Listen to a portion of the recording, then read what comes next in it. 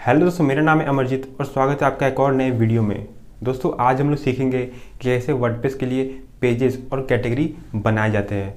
दोस्तों पेजेस में आप यहाँ पर अपना अबाउट उसका पेज बना सकते हैं कॉन्टेंट का पेज बना सकते हैं या फिर प्राइवेसी पॉलिसी का पेज बना सकते हैं। इसके बाद फ्रेंड्स यहाँ पर कैटेगरी मान लीजिए कि आपका जो ब्लॉग या फिर वेबसाइट है, वो आप उसे अलग अलग कैटेगरी पर पोस्ट लिखते रहते हैं तो यहाँ पर आपको वहाँ पर कैटेगरी बनाना होगा। तो आज हम यही सीखेंगे कि कैसे कैटेगरी क्रिएट किया जाता है। तो यहाँ पर मैं सबसे पहले आपको अपने वेबसाइट में जाकर दिखाता हूँ कि यहाँ पर मैंने कितने तरह कैटेगरी बनाए हुए हैं। सो फ्रेंड्स ये रहा हमारा वेबसाइट और अभी आप लोग जो टॉप में देख पा रहे हैं, ये है हमारा कैटेगरी यही कैटेगरी हमारे वेबसाइट में शो हो रहा है मेन्यू बनकर। इसके बाद फ्रेंड्स अगर आप यहाँ पर नीचे जाएँगे तो नीचे में आपको जो है पेजेस देखने को मिल जाएँगे। जनरली जो वेबसाइट है दोस्तों, उसमें पेजेस नीचे ही शो होता है। अबाउट अस कॉन्टेक्ट और प्राइवेसी पॉलिसी का पेज यहाँ पर मेरे वेबसाइट में यहाँ पर नीचे शो हो रहा है। तो इसे बनाना काफ़ी आसान है। आपको इसे बनाने के लिए दोस्तों, ज़्यादा मेहनत करने की ज़रूरत नहीं है। यहाँ पर आज हम लोग यही सीखेंगे कि कैसे पेजेस बनाया जाता है। उसके बाद आपको कैटेगरी बनाना भी सिखाऊँगा। तो यहाँ पर आप लोग देख पाएँगे कि यहाँ पर मैंने कुछ कैटेगरी पहले से बना के रखे हुए हैं।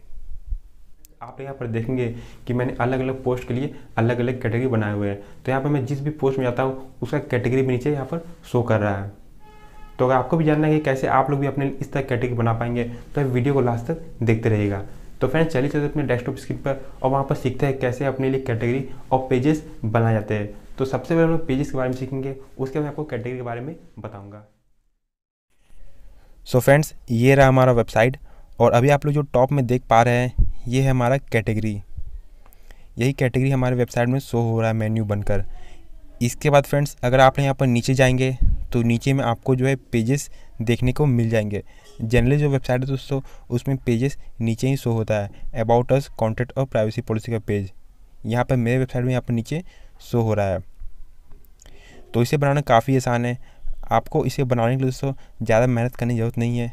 यहाँ पर आज हम लोग यही सीखेंगे कि कैसे पेजेस बनाया जाता है। उसके बाद मैं आपको कैटेगरी बनाना भी सिखाऊँगा।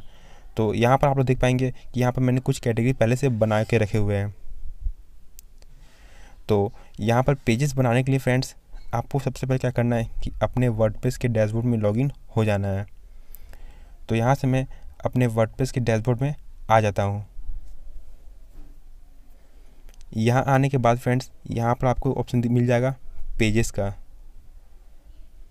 तो यहाँ से आपको पेजेस में जाना है। यहाँ पर सबसे पहले आपको दिखाता है मैंने कितने सारे पेज पहले से बना कर रखे हुए हैं। तो यहाँ पर मैंने तीन पेजेस पहले से बना कर रखे हुए अबाउट अस कॉन्टेक्ट अस और प्राइवेसी पॉलिसी का पेज यहाँ पर मैंने पहले से ही क्रिएट करके रखा हुआ है।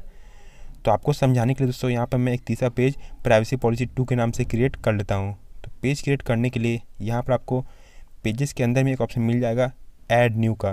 तो आपको इस ऐड न्यू पर क्लिक करना है। इस पर क्लिक करने के बाद यहाँ पर आपको ऐड टाइटल का ऑप्शन आ जाएगा, यानी कि आप अपने पेज का क्या टाइटल देना चाहते हैं। तो यहाँ पर मैं प्राइवेसी पॉलिसी टू के नाम से यहाँ पर पेज क्रिएट करना चाहता हूँ। तो यहाँ पर मैं प्राइवेसी पॉलिसी टू यहाँ पर टाइटल में टाइप कर दूँगा।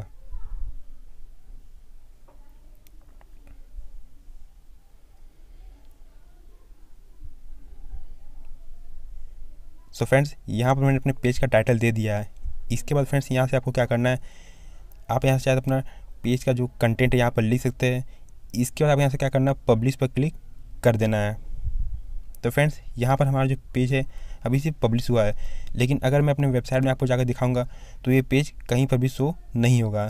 तो यहाँ से अगर मैं इसे रिफ्रेश करता हूँ तो आप लोग देख पाएँगे कि मेरे जो वेबसाइट के पेज है, वो यहाँ पर ये शो नहीं कर रहा है।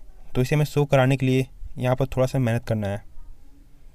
इसके लिए आपको वापस अपने वर्डप्रेस के डैशबोर्ड में जाना है और यहाँ से आपको अपीरियंस में जाना है और यहाँ से कस्टमाइज में आ जाना है।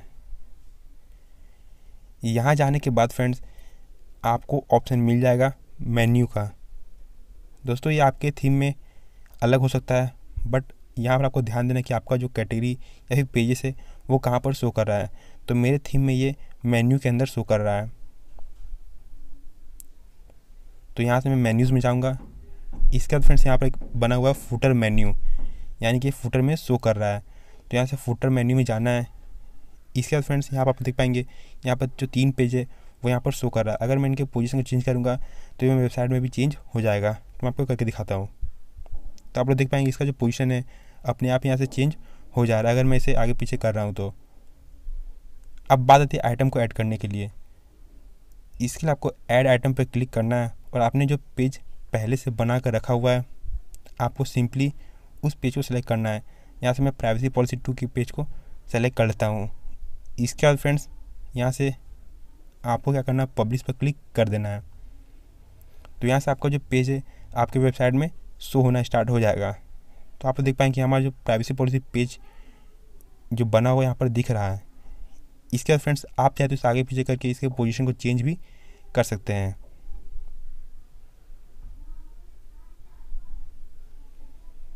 तो फ्रेंड्स इसी तरीके से आप लोग भी अपने वेबसाइट के लिए पेजेस को बना सकते हैं। और फ्रेंड्स नेक्स्ट वीडियो में आपको बताऊँगा कि कैसे प्राइवेसी पॉलिसी को जनरेट किया जाता है और कैसे टर्म एंड कंडीशन बनाया जाता है। ये सारा कुछ मैं आपको नेक्स्ट वाले वीडियो में बताऊँगा। अब चलिए फ्रेंड्स जानते हैं कि कैसे कैटेगरी या फिर मेन्यू बनाया जाता है। So फ्रेंड्स अब हम लोग जानेंगे कैसे मेन्यूज़ और कैटेगरी बनाया जाता है। तो फ्रेंड्स यहाँ पर आप लोग जो कैटेगरी बनाएँगे, वही आपके मेन्यू के अंदर शो होगा। तो यहाँ पर मैंने कुछ कैटेगरी पहले से बनाकर रखे हुए हैं। तो आपको समझाने के लिए यहाँ पर मैं दो कैटेगरी बनाने वाला हूँ, हिंदी और इंग्लिश के नाम से। तो कैटेगरी बनाने के लिए आपको क्या करना है, आपको सिंपली सबसे पहले अपने वर्डप्रेस के डैशबोर्ड में लॉगिन हो जाना है। यहाँ पर दोस्तों कैटेगरी बनाने में सेम तरीका है जैसे आपने पेजेस में किया था। तो यहाँ पर कैटेगरी बनाने के लिए यहाँ से जाना आपको पोस्ट में, इसके अंदर आपको दिख जाएगा कैटेगरीज। तो यहाँ से आपको इस कैटेगरी में आना है। इसके बाद आपको यहाँ पर देख पाएँगे मैंने कुछ कैटेगरी बनाए हुए हैं, जो कि मेरे वेबसाइट के अंदर यहाँ पर शो कर रहा है। यहाँ पर नए कैटेगरी बनाने के लिए आपको नाम एंटर करने को कहा जाएगा। तो यहाँ पर मैं हिंदी नाम से कैटेगरी क्रिएट कर लेता हूँ। तो आप जो भी नाम से कैटेगरी बनाना चाहते हैं, आपको यहाँ पर नाम एंटर कर देना है। तो यहाँ पर मैं हिंदी टाइप कर लेता हूँ।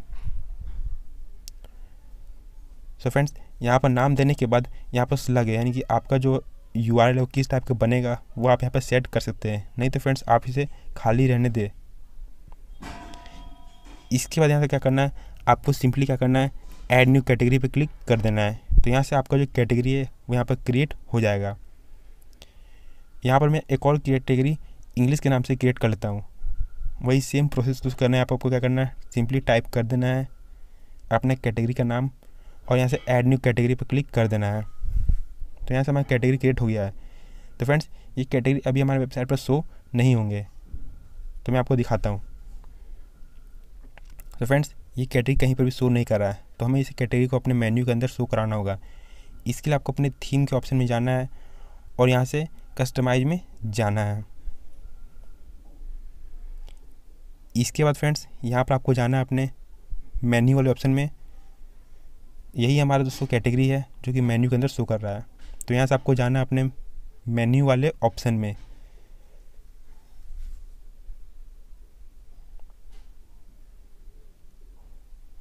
तो यहाँ से मैं मेन्यू में चला जाता हूँ। उसके बाद जो मेन्यू है मेन मेन्यू आपको इस पर क्लिक करना है। तो फ्रेंड्स यहीं पर हमारा सारे कैटेगरी शो कर रहा है। तो कैटेगरी यहाँ पर ऐड करने के लिए आपको सिंपली कुछ नहीं करना है। यहाँ से ऐड आइटम पर क्लिक करना है। तो यहाँ से आप लोग देख सकते हैं, अगर आप इसका पोजीशन चेंज करेंगे तो आपको इजीली पता चल जाएगा कि मेरा कैटेगरी या फिर मेन्यू कहाँ पर बना हुआ है। यहाँ पर कैटेगरी ऐड करने के लिए यहाँ से आपको सिंपली ऐड आइटम पर क्लिक करना है। इसके बाद यहाँ से आपको कैटेगरी वाले ऑप्शन को सेलेक्ट करना है। तो यहाँ पर आपने जितने भी कैटेगरी बनाए हुए हैं, वो यहाँ पर आपको देखने को मिल जाएगा। तो आप जिस भी कैटेगरी को ऐड करना चाहते हैं, आपको सिंपली उसे सेलेक्ट कर लेना है। तो यहाँ से मैं हिंदी और इंग्लिश वाली कैटेगरी को सेलेक्ट कर लेता हूँ। इसके बाद आपको क्या करना है? सिंपली यहाँ से आप चाहे इसका पोजीशन भी चेंज कर सकते हैं। तो यहाँ से मैं इसे पब्लिश कर लेता हूँ। सो फ्रेंड्स आप लोग देखेंगे कि हमारा जो कैटेगरी है यहाँ पर मेरे मेन्यू बार में ऐड हो गया है। तो इसी तरीके से आप लोग भी अपनी कैटेगरी को क्रिएट कर सकते हैं। इसके बाद फ्रेंड्स आप इसके पोजीशन को आगे पीछे यहीं से कर सकते हैं। अगर आपको इसे आगे पीछे दिखाना है तो आप इसे सिंपली स्लाइड करके ऊपर नीचे कर सकते हैं। अगर आप दोस्तों, आप कैटेगरी के अंदर सब कैटेगरी क्रिएट करना चाहते हैं तो आपको सिंपली क्या करना है कि इसे थोड़ा स्लाइड करके इसे पीछे खिसका देना है, कुछ इस तरह से। तो यहाँ पर आप लोग देखेंगे कि आपका जो कैटेगरी के अंदर एक कैटेगरी सो बन बन गया है। यानी कैटेगरी के अंदर एक सब कैटेगरी बन गया है। तो यहाँ पर आप लोग कुछ इस तरीके से अपने मेन्यू को बना सकते हैं और कैटेगरी को भी बना सकते हैं। सो आई होप गाइस आज का वीडियो आपको समझ आ गया होगा और आपको पता चलेगा कैसे मेन्यूज़ बनाए जाते हैं, कैसे कैटेगरी बनाए जाते हैं और कैसे पेजेस बनाए जाते हैं। नेक्स्ट वीडियो हम लोग सीखेंगे कि कैसे पेजेस को दोस्तों क्रिएट किया जाए, यानी कि कैसे प्राइवेसी पॉलिसी और कैसे काउंटर उसका पेज बनाया जाता है। दोस्तों, फ़िलहाल के इस वीडियो में इतना ही। मैं मिलता हूँ आपसे नए वीडियो में। तब तक के लिए जय हिंद और वंदे मातरम।